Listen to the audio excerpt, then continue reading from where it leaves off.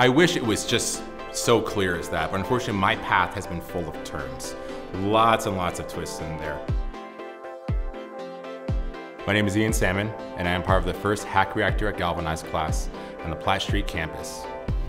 Before this, I was a teacher and professional violinist for about nine years. My love affair with the violin has not ended and it will never end.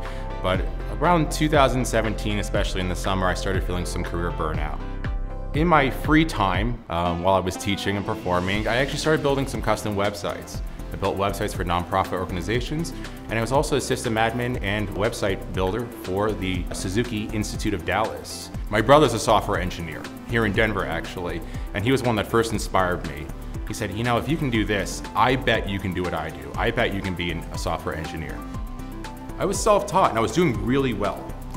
I started exploring some of the boot camps in the area. There are so many out there as well as all of the remote options but many of them start from the beginning. And I had, granted self-taught, a year and a half of back-end experience and some front-end experience from my previous career in side contracts. I really didn't want to pay a ton of money to start from hello world all over again.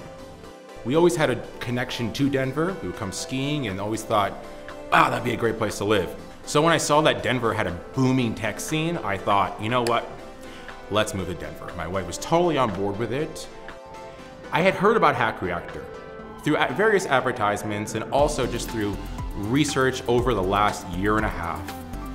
Saw amazing numbers, saw some projects coming out of it, testimonials, even uh, blog entries by Hack Reactor grads and thought, man, I wish that they weren't in just San Francisco and New York. I would love, love to attend that school. Then in December, I get an email from Travis, one of the recruiting, one of the recruiting guys down here at the Platte campus.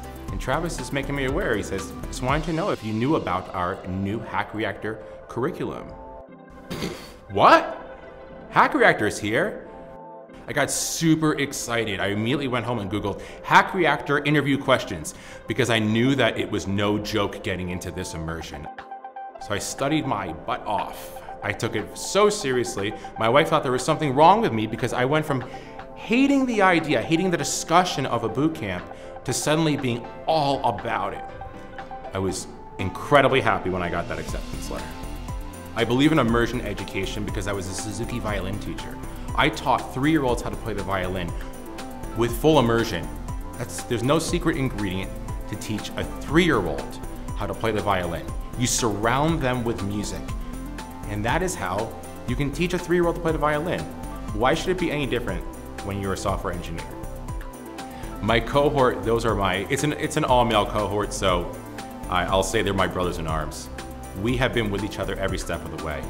This program encourages you, forces you to be autonomous. There are many engineers that would say, good, you need to learn how to read documentation. That's something that I definitely learned in this program but you also learn to lean on your peers.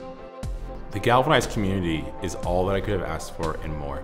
I can truthfully say, I'm further than I thought I was going to be. I'm amazed at the skills that I've developed.